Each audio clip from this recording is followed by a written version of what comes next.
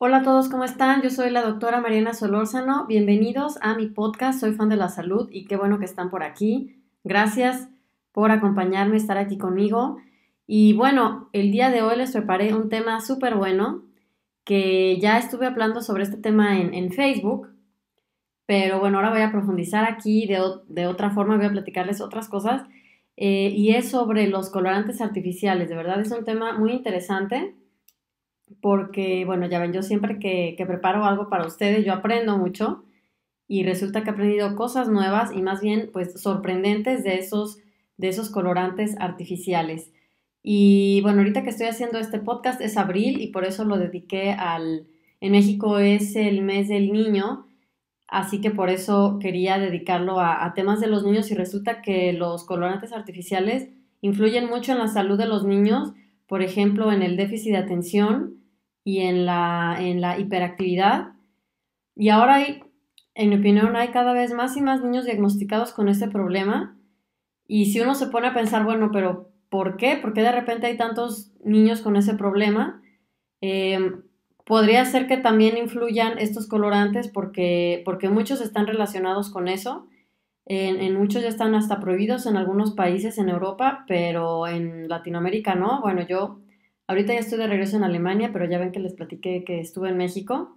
Y ahí, bueno, me encontré, me encontré eh, tantos, tantos productos con esos colorantes que de verdad me sorprendí, es lo que les voy a contar hoy. Me sorprendí porque no pensé que fuera a encontrarlos en tantos lugares. Y pues así es, eso es lo que quiero, quiero decirles, quiero contarles lo que ocasionan, dónde se encuentran y cómo los identifiquen. ¿Para qué? Pues para que no los consuman esos productos y para que eviten problemas de salud, pues para los, adultos y para los niños. ¿Ok? Bueno, así que vamos a ver este tema de los colorantes. Los colorantes, pues obviamente se usan para, uno puede decir, bueno, pero como para qué. Cuando se usa un colorante no es precisamente para que se vea azul o, naranja o yo que sé, un color así como o amarillo fosforescente, o sea, no es para exagerar el color, Muchas veces lo tienen las, por ejemplo, muchas sopas lo contienen, sopas, sopas empaquetadas contienen este amarillo o, rojo, es para darle pues el toque que parezca como que tiene jitomate, ¿no?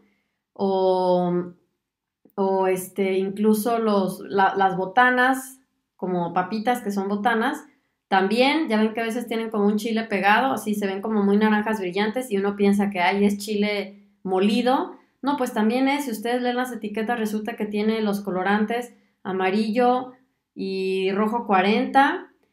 Así que, o sea, yo me sorprendí porque yo, la verdad, como ya no estaba en México, ya tenía mucho tiempo sin haber leído las etiquetas mexicanas y me sorprendió eso. Este, entonces, exacto, no, no es solamente así como lo más obvio, o sea, ¿dónde se encuentran los colorantes artificiales? Obviamente, ¿dónde se encuentran? Pues a ver, si un cereal tiene ahí un color súper rojo y rosa brillante y dice que es sabor unicornio, no sé qué cosas, pues eso es obvio que es artificial, o sea, no hay que eh, pensar demasiado para estar seguros que pues es un colorante. ¿Qué otra cosa podría serlo? O si los niños se toman, se comen un dulce y les queda la lengua color azul, pues también, obviamente es un colorante, no hay nada de misterioso en eso. O si se toman una una bebida también de color naranja, de color azul o de no sé qué tantos colores hay, también es obvio que tiene un colorante artificial. Em, entonces, bueno, aparte de, estas, de, estos, de estos productos, que donde es obvio que lo encuentran, también estamos otros que, que, un, que a veces uno piensa que hay, bueno, queso amarillo, porque va a tener un colorante, ¿no? Pues tiene también, el queso amarillo tiene, tiene el colorante amarillo, imagínense, amarillo número uno se llama. O este, algo que me, que me sorprendió muchísimo, que se los platiqué en Facebook también, es que cuando fui a, normalmente cuando me, cuando me iba a regresar a Alemania, este, normalmente siempre voy al súper y me, me cargo de, de, cosas, ¿no? O sea, compro pues cosas mexicanas que ya sé que no hay aquí. Y bueno, a mí me gusta mucho el pollo en achote, así se llama. Mi abuelita lo preparaba cuando yo era chiquita y entonces pues me acuerdo mucho de ese sabor.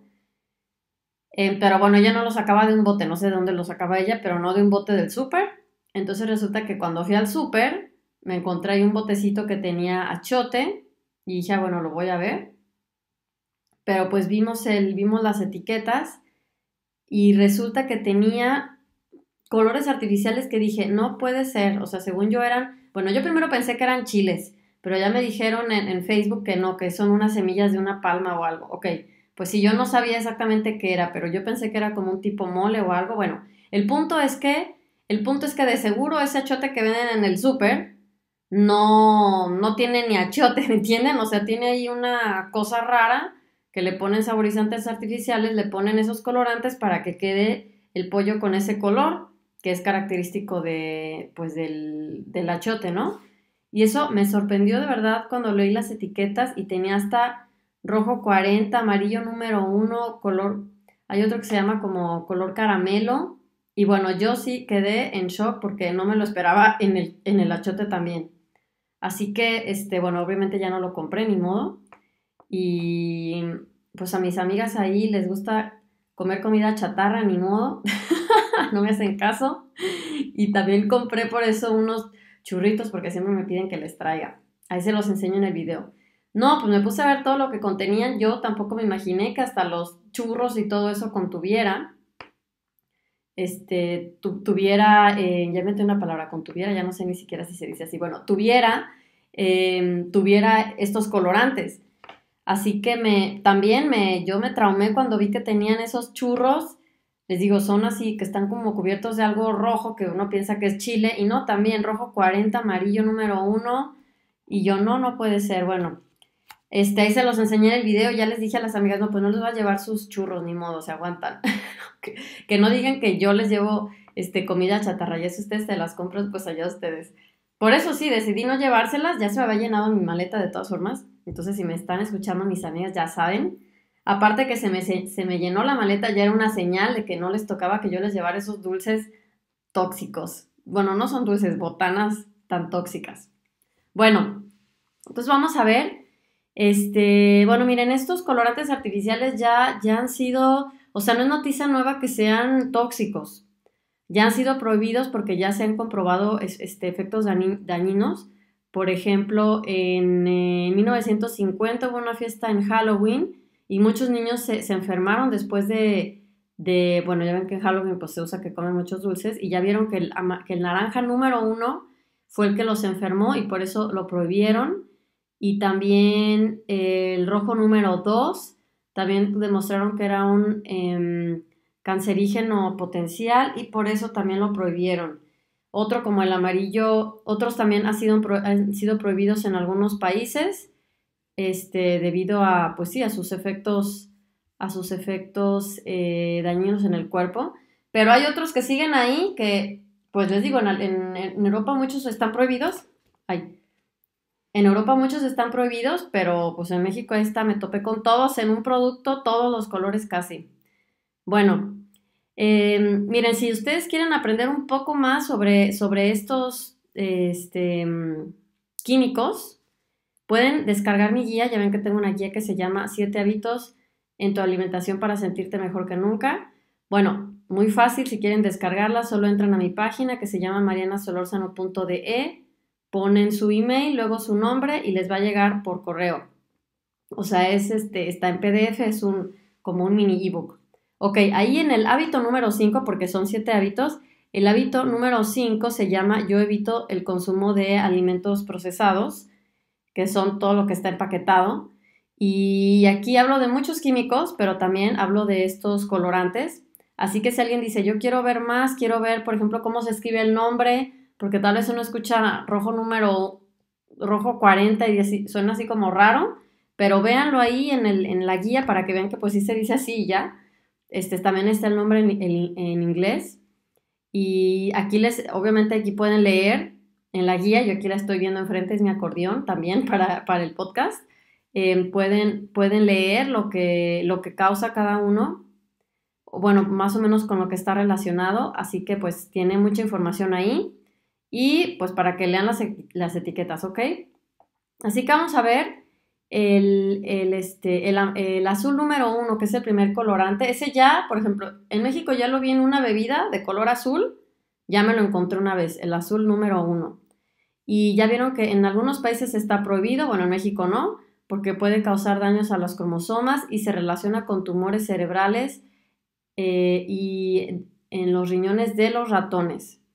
Bueno, como siempre la ciencia dice, a ver, si ya causó, causó, tumores en ratones, pero eso no significa que cause tumores en personas, entonces como se necesitan más estudios, por eso no está prohibido todavía hasta que millones de personas les dé y sea obvio, entonces deben decir, ay no, entonces tal vez ya se prohíbe, o tal vez dicen, no, pues le dio, pero por otra causa.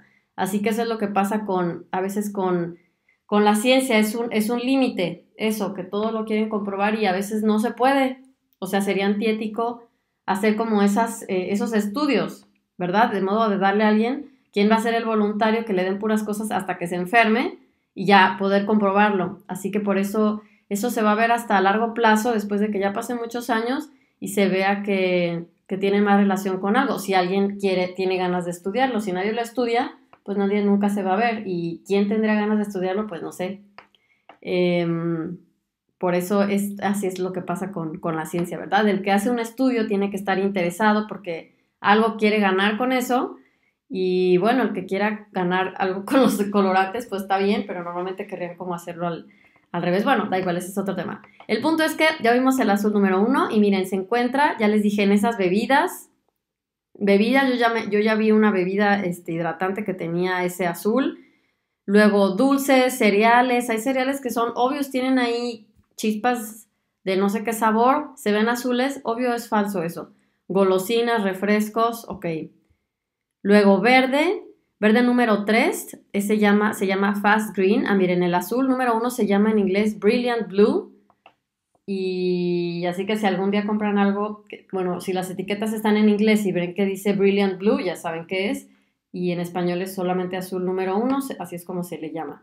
Ok, ese que se llama verde número 3 está prohibido en algunos lugares de, Europa y se relaciona con cáncer de vejiga y se encuentra en alimentos empaquetados, dulces y en salsas. Y no significa que a fuerza se tenga que ver verde, sino que les da pues como un tono a la comida que hace que se vea más atractivo y es lo que nos venden a la hora de comprar, que se vea rico, que, se, que sepa rico. Y lo malo es que a veces sí sabe rico, pero porque son puras cosas falsas. Ok, bueno, el otro se llama rojo número 3 también. Se ha demostrado que causa cáncer de tiroides en ratas. Ese tiene un nombre en inglés que se llama erythrocine. Y y entonces este, está relacionado también con hiperactividad y daño, digo, hiperactividad en niños y daños en los cromosomas. Pues también se encuentra en panes, salsas y dulces. Es más, muchos alimentos que están congelados, que son como un platillo, por ejemplo, una cena. Imagínense, voy a inventar una lasaña con una con salsa boloñesa, lo que sea. Y esas salsas muchas veces contienen, especialmente lo que está así empaquetado, que solo es de meter al microondas, que ese es otro tema, los microondas. Y bueno, entonces pues contienen esos colorantes. Bueno, el rojo número 40, ese, ese ya está como que en la mira ese, ese colorante de tantos efectos, o sea, por la relación que ya tiene con tantos problemas, especialmente con la hiperactividad de niños. En inglés también se llama Alura Red y puede, este también aumenta como las alergias y se encuentra en alimentos color rojo, en alimentos sabor fresa, cereza, nieves, dulces, pay de frutas, cereales, bebidas dulces. Y bueno, déjenme decirles que en ese famoso achote que les dije, que es un condimento, ahí ese tenía rojo 40, imagínense. Yo por eso les dije, me traumé, dije, no puedo creerlo que hasta en el en esta cosa le estén poniendo estas, estas cosas tan tóxicas. Eh, y es muy fácil de leerlo, ¿eh? Van a ver aquí en, el, en mi Facebook, estoy publicando muchas, eh, muchos, muchos, o sea, los, muchas imágenes con los nombres de estos colorantes para que vean cómo ustedes los pueden encontrar en las etiquetas. O sea, no tiene nada de difícil, solamente lo leen y van a ver que dice rojo 40, aunque no entiendan todo lo demás. porque bueno, son palabras muy complicadas a veces que uno no sabe ni qué, ni qué son. A propósito, yo creo que lo ponen así para que ya uno dice, no, ni las veo, me da flojera. Y aparte son mini, las letras súper chiquitas también para que uno diga, ay, no, ni para qué, qué flojera. No, pues no importa, véanlo, aunque sea con lupa, en serio. O sea, yo para encontrar eso en ese achote, pues era una caja chiquitita y de verdad no se le veía bien las letras, pero pues hasta ahí lo descubrimos. Em, y sí, está relacionado con hiperactividad en niños. Así que si un, si un, niño está comiendo estos alimentos a veces sin querer, les digo, los papás a veces no sabemos porque dicen, ay no, pues yo hago comida sana, solo preparo, preparo pollo con este condimento y ándale. Resulta que se tiene esas cosas que les pueden afectar a los niños y luego no, pues no sé por qué mi hijo no hace caso o está tan, bueno, no hace caso, no creo que hasta los alumnos no hace caso, no, más bien, o sea, hiperactividad, pues no se concentra en la escuela, em, este, tiene que estar corriendo y gritando todo el tiempo sin pausa de una forma exagerada, de forma que pues ya le pueden diagnosticar ese, esa enfermedad. Y muchas veces podría ser que es, por, que es por estos colorantes que están ahí escondidos en la comida y uno piensa que porque no está comiendo algo azul no tiene colorantes, pero resulta que sí, hasta las cosas saladas tienen. Bueno, otro que también está ahí, este, pues como en la mira es el amarillo número 5, eh, Tartacin se llama, y está actualmente también bajo, bajo, investigación debido a su relación con la hiperactividad de niños, ansiedad, migrañas y cáncer. En unos lugares ya está prohibido, en Europa, pero en México, ahí, les, ahí este, yo también me lo encontré en muchos productos cuando me puse a ver las etiquetas, por eso no les llevé a mis amigas sus botanas, disque con chile. Ok, y el otro colorante es amarillo número 6 que se llama Sunset Yellow. O sea, más falso no se puede el nombre. Sunset Yellow es amarillo atardecer. O sea, es como una broma, ¿no? ¿Saben a qué, a qué, a qué le ponen ese queso, este colorante amarillo? Por ejemplo, al, queso amarillo, a las pastas, a las bebidas eh, también tipo refrescos, limonadas, pues que tenga ese toque como amarillento. Y ya uno piensa, estoy comiendo unas, este, una pasta y inocentemente ahí, ¡pum!, resulta que le ponen ese amarillo número 6, Sunset Hielo, para que, cuando, para que lo veas y digas, wow, el color de, estas, de esta pasta es increíble, me recuerda al atardecer en la playa y ese color tan vivo, wow, tiene un sazón y no sé qué, o sea, pero es una mentira. Bueno, yo odio las cosas falsas, los jugos falsos, ya ven, pues los colores falsos también, entonces todo lo falso lo odio y me da de verdad mucha tristeza, pena que eso lo estoy permitiendo. Pero el, este, ¿cuál es, qué es lo mejor que podemos hacer? Pues leer las etiquetas, leer las etiquetas y así cada quien decide qué compra, es lo bueno. Afortunadamente cada quien va al súper y decide qué se compra. Bueno, en, en, este, bueno, Latinoamérica, este, tal vez no todos los amigos de Venezuela, muchos me escriben y me platican la problemática, bueno, pues les mando saludos a mis amigos de Venezuela porque tal vez me van a decir, pues nosotros no podemos, lo siento, perdón, lo siento porque digo, en general todos podemos, pero ya sé que, ya sé que en general siempre hay alguien que, no puede, pero bueno, afortunadamente muchos países este, son libres, tienen la libertad de ir y comprarse lo que quieran, como en México, les digo que eso fue lo que yo hice, ir al súper a comprar las cosas, y ahí me di cuenta de, ahí me di cuenta de todo eso, y pues cuando las personas en Facebook comentan ahí, ay, ¿qué hacemos? ¿Y por qué, por qué permiten eso? Bueno, lo permiten. ¿Saben por qué lo permiten? Primero, los que lo venden, ¿por qué creen? Lo permiten porque nosotros, los consumidores, lo permitimos. Eso es. Esa es la primera. ¿Por qué? Porque vamos y nos comemos todo lo que nos ponen. Ajá. Entonces no, de nada sirve como culpar y decir que prohíban eso. Si el objetivo es hacer conciencia, si lo prohíben, la gente que ni tenga conciencia van a decir, ay, eso que de algo nos vamos a morir, ya no puedo comer mis churros, qué horror. Créanmelo, de verdad. Entonces, lo bueno es que cada quien tiene la libertad de elegir lo que pueda comprar, lo que quiere comprar. Y entonces el primer paso es, como les dije, lean las etiquetas, lean las etiquetas minis, así, mientras más chiquita la letra digan, oh, algo este, sospecho que hay algo sospechoso, ni modo, ya lo dije doble. Supongo que hay algo sospechoso, sospechoso, ay no, sospechoso. ya me trabé. Em, así que, este, lean las etiquetas, es el primer paso. Y aquí en la guía les digo, ahí les enseño otros, otros este, químicos, también muy interesante todo lo que ocasionan. Y si mínimo ya ven estos, estos colorantes, ya es buen paso, ¿eh? Ya si dicen, ok, vi que tiene estos colorantes y no lo voy a comprar por eso, ya es un buen paso. Yo creo que ya van a descartar muchos productos tóxicos. Y si leen la guía con detalle, pues van a encontrar que hay más, más cosas. Muy bien. Así que ese es el primer tip que les paso. Sí, así que el objetivo es hacer conciencia y eso es lo que, lo que va a permitir la libertad. Y si algún día los que, los que producen estos, estos productos, si se dan cuenta que la gente ya no los quiere comprar porque contiene estas sustancias, bueno, les aseguro que van a hacer algo. Pero si, obviamente, este, si todo el mundo lo sigue comprando, ¿por qué? Pues por la ignorancia, ¿verdad? A nadie nos enseñan esto. Nadie habla de esto así eh, como la telenovela que todos hablan o las series, pero estos temas no, lo, no los habla nadie. Y eso ¿A quién creen que le da poder todo eso? Pues a los que nos venden cosas. Lo que más les va a dar poder, o nos va a dar poder a mí también, es este, y libertad, pues es el, conocimiento y la conciencia y la decisión personal de decir, ok, ya no voy a consumir esto y me vale que, pues que los demás si quieren, pues a mí que, ustedes no creen que, me, que no me dicen que porque no me como ni un churrito, digo, no, no quiero en serio, no se me antoja, no estoy sufriendo, sufro cuando veo que lo hacen las personas, pero yo no sufro, yo me siento feliz de no hacerlo de entenderlo. Muy bien. Ok, pues ya vimos este, este tema de los, de los eh, colorantes artificiales, cómo afectan los niños.